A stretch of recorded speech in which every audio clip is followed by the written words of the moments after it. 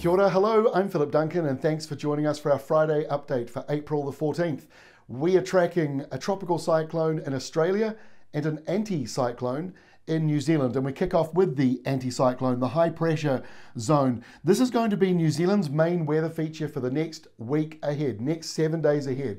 It's going to be parked out to the east, it's getting a little more powerful, and it's working in tandem with this low pressure zone out in the Tasman Sea. And that creates what we call a squash zone, and those northeast winds will become stronger in the days ahead. And as the high gets stronger and moves a little bit further out to our east, it will pull down this subtropical airflow and bring it down over New Zealand. In Australia, we've got uh, Cyclone Ilsa. It made landfall just a few hours before we recorded this video.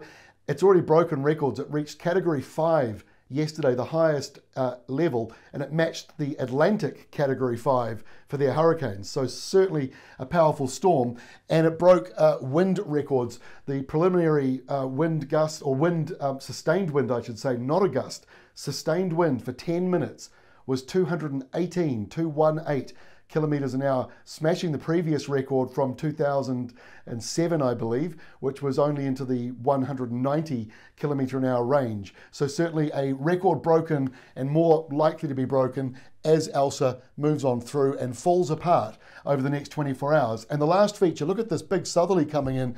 Uh, Perth and Fremantle, your temperatures will be down as will the rest of the southwestern corner of Western Australia as that southerly comes in and from very close to the Antarctic ice shelf. Now, very far away from Antarctica in the Tasman Sea, we've got the Solo Trans Tasman Yacht Race carrying on. It just left from New Plymouth and they're heading off towards Brisbane. Now we've got that low pressure zone in the Tasman producing some larger waves. This is what you're seeing on the map here.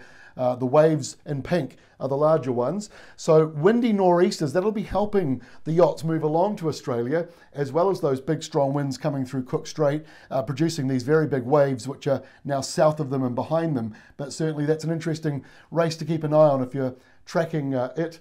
And if you're not, just Google those words there, Solo Trans Tasman Yacht Race, and you'll be able to find it very quickly. Let's have a look now at the cyclone Ilsa. Uh, this was how it was captured this morning, around about 7 o'clock New Zealand time, 5 o'clock in the morning in Sydney, and it was uh, three o'clock in the morning over near Port Hedland. You can see the centre of the storm very clearly there. That's the eye. Uh, rain radar showing some very heavy rain around it, starting to break up though, and thunderstorms to the north there. And like I say, it will move inland, almost uh, eastwards, as we go through Friday and into Saturday. Bit of a southeast lean to it.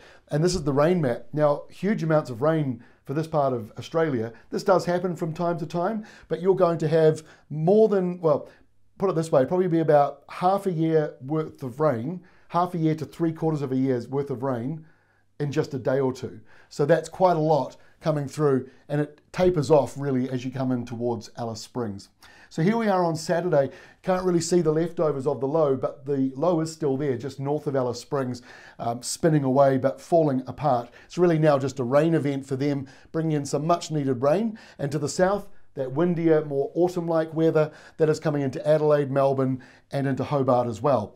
On the other side of the Tasman Sea, it's also windy. Uh, nor'westers over here on this corner, northeasterlies for the New Zealand side, and that low slowly dropping southwards. But up here in the tropics, another one to keep an eye on around Vanuatu, the Solomon Islands area. That's going to deepen on Sunday a little bit further. There's another low next to it. So these two are sort of working in tandem Uh, steal the energy a little bit off each other. The high in the New Zealand area getting bigger and stronger and pushing back. So those northeasterly winds become stronger as well. And over here in Melbourne and Hobart, in comes that cold front, fairly weak, and it falls apart by the time it reaches Sydney. By Monday, the next high is coming through. So things are settling down right across Aussie. But in the New Zealand area, we've got a storm down here, or a low pressure zone anyway, down in the Southern Ocean, and then another two lows to the north. So a lot of low pressure out here between the two highs. That's quite normal as we go through the, the seasons of autumn and spring. Um, in winter, we tend to get a lot more low pressure, and in summer, a lot more high pressure. And in the spring and autumn seasons, you get a bit more of an even mix between highs, lows, and highs. And that's what we're seeing at the moment. So next week, with all that low pressure to the north of New Zealand, that encourages this wet weather on the backside of the high pressure zone. So the anticyclone's out here, but it's bringing airflows from the Cook Islands, Tonga, and even around Fiji down into the New Zealand area. So next week, well above average temperature wise, daytime and nighttime. Places in the south that would normally be seeing frosts are going to have double digit overnight lows as those northerly quarter winds come through. And no real change as we go through the week, except that on Wednesday, the high moves further out to the east, and so therefore the rain slides in. Those showers and wet weather that have been hanging around the back end of that high finally move in to the New Zealand area.